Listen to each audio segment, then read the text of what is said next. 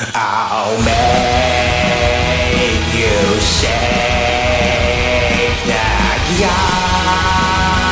goddamn run on me.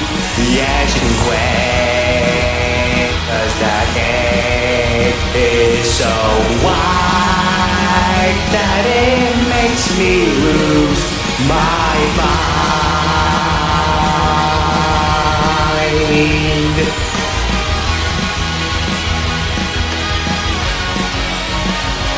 My mind.